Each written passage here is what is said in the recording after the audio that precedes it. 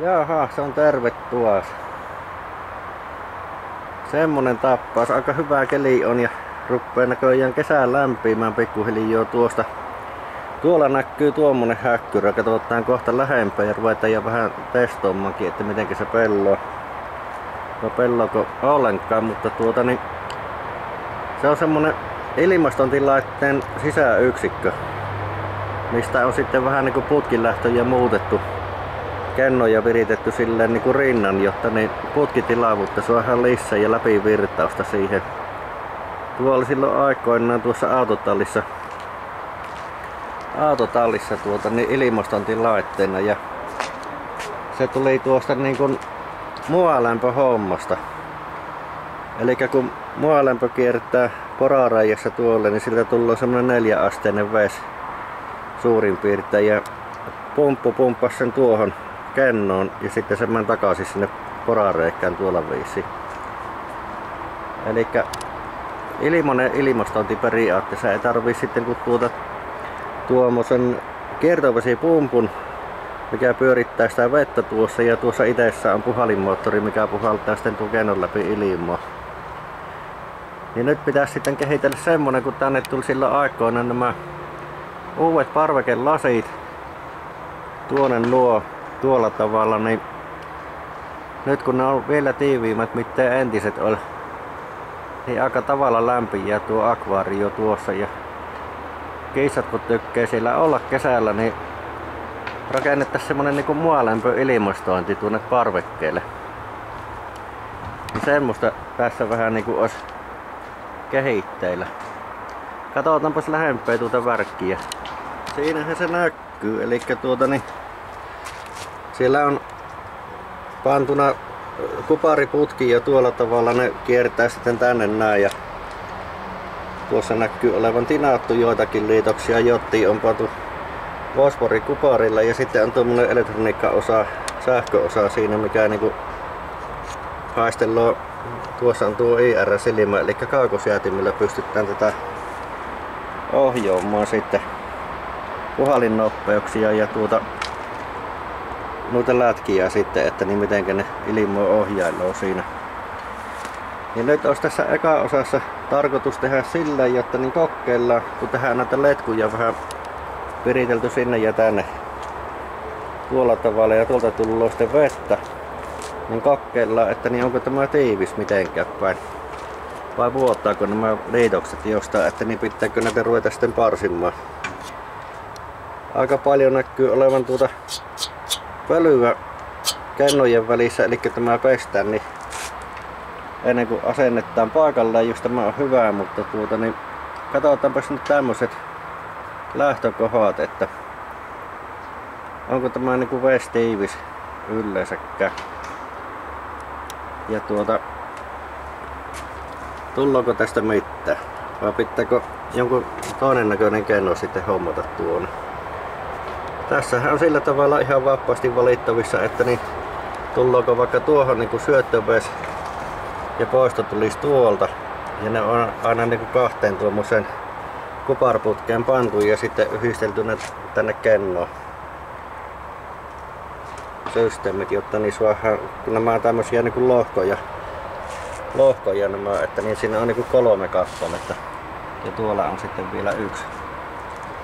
Noin päin, niin tuota. Ei muuta kuin tuohon pannaan letku kiinni. Tuohon toiseen tiittullaan ja tuota niin ollaan katsoa vaikka ulostuloa ja syötetään tuosta vettä taikka toisinpäin. Katsotaan rupeeko se tihkuttamaan mistä tieltä liitoksista. Jaha, siinäpä olisi kameroa sitten ja tuota nyt pannapas täältä vettä tulemaan. Katsotaan mitä tässä tapahtuu nyt sitten. Ruppeeko se vuotamaan jostakin? Se on tuommoinen tuommoinen tappaus, että kun et tiedä pitkän ajan jälkeen, että niin vuottaako se jostain, mutta tästä päässä selviää, kun paineella pannaan vettä sinne menemään. Nyt sitä rupeaa tulemaan tuosta. Katsotaanpas. Noin.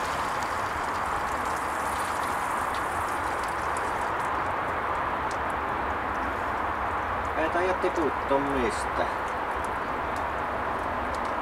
Eli liitokset pitää silloin aika hyvästi.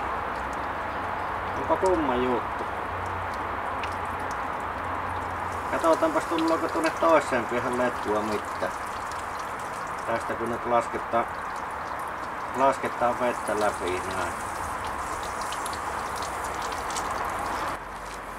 Patenttihommuja, eli tuota niin, tämä letku on nyt sitten mikä ulospäin kannattaa sitä vettä tuolta. Tuohon pannaan tuommoinen mutka noin, niin tuota tämmöisellä suuttimella syötetään tuosta letkusta sisään. Katsotaan ruppeeko siitä tulemaan mistä. Joo. Kyllä. Vesi kiertää kennan läpi tuolla ja eikä minä vuotava mistä. Tämähän on hyvä juttu. Seuraavaksi katsotaan tuo sähköjuttu, että niin pelloon pelloonko se vielä, että lähtee tuolla lämmöksi kääntymään puolimuotoilu pyörimään. Tämmöisellä saadaan sitten myölämpönestettä pyöritettyä tuossa kennossa. Joo, hyvä.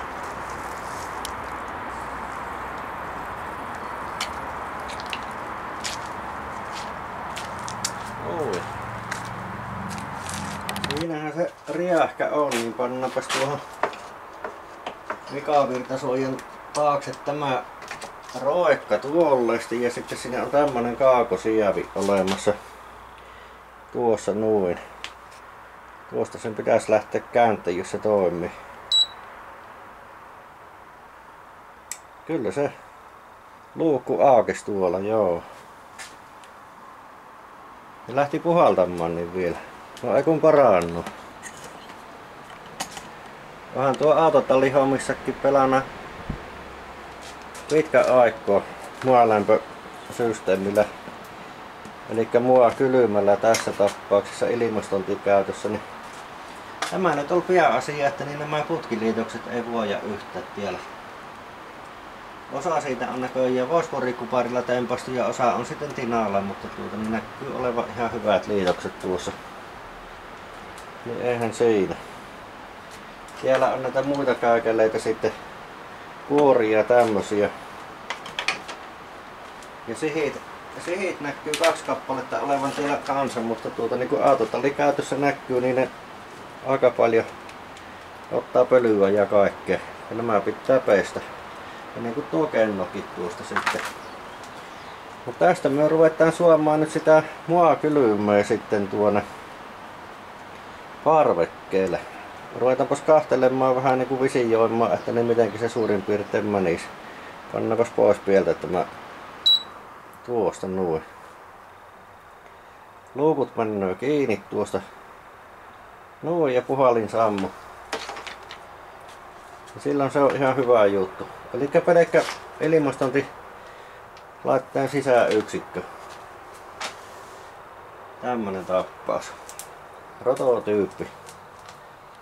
No, katsotaanpa lisää. Miten mualämpöpumppuhan tuossa, mitä se nyt ei tarvii, jos siihen tuo on vaan niinku talon lämmitykseen sitten niinku talviaikaan, mutta tuota siinä kun kiertää sitten nämä kylmäputket, mitkä kiertää sinne porareikään kahta puolta tuolle. Niin tieltä välistä suohaan, kun ruvetaan kahtelemaan seuraavassa jaksossa, niin se mua kylmä kierrätettyä silleen, eli kun kiertovesipumppu pyörittää tuossa pumpun, pumpun sisällä sitä lientä tuolleen porareikkaan ja takaisin ja pumppuun. Niin tuota, nyt kun ei käytetä tuota kampuroa ollenkaan tuossa, vaan käytetään pelkkää tuota niinku mua kylmää, niin kierrätetään sitä nestettä ja tehdään siihen semmoset ulosotot sitten, jotta niin saadaan tuonne parvekkeelle vetästyä ne. Ja tuota, miten ne lähtis menemään siitä, niin tässähän on melkein suora reitti sitten ylös tuolta, mistä nuo johottiin mennä suurin piirtein. Eli tuosta kulumasta polkastaan reikan vaan läpi ja tuota, niin eristetyt putket väjetään sitten kotelossa tuonne ylös ja ne ikään tuonne parvekkeelle. Niin se rupeaa sitä kierrättämään sitten ja pumppu tuli sitten jollekin noille haminoille tuonne, niin se on aika hyvässä linjassa tuossa. Noin päin, mutta käydäänpäs kahtumassa vielä tulla parvekkeella. Eli tämmöistä lientä tulisi kiertämään sillä letkustossa ja tuota, niin kuin se kiertää tuolla porareijässäkin, niin tuota, tämä ei mene pakkasessakaan miksikään, eli ei tarvitse tyhjentää sitä. Vettähän sinne ei pysty laittamaan tietenkään, kun tuota, niin se käy välillä pakkasen puolellakin, niin se jäätys sitten sinne. Jaha, nyt sitä ollaan tällä parvekkeella. Niin kuin äsken allalta kateltiin, niin tuossa tuo kaapelinippu menee tuonne maastolle rantaan tuolla tavalla, mutta tuota se sisäyksikön paikka niin voisi olla tuossa taikka sitten tässä alempana. Ja sitten tuosta vetästään vain tuota eristetyt, eristetyt tuota, niin tuommoiset letkut, putket alas ja sitten se tippaletku, eli kondensiovesiletku, niin siitä se valuutteloo tuolle. Tämä parveke lämpiää suurin piirtein niin kuin huonosti lämmitetty sauna kesäaikaan tosiaan silloin kun lasit on kiinni tuossa ja lasijakka ei oikein aakipas pitää sitten kun kissat ruppee elämöimään sinne sen verran, jotta niin ne suottaa käydä silleen, että niin ne tippuu tuolta.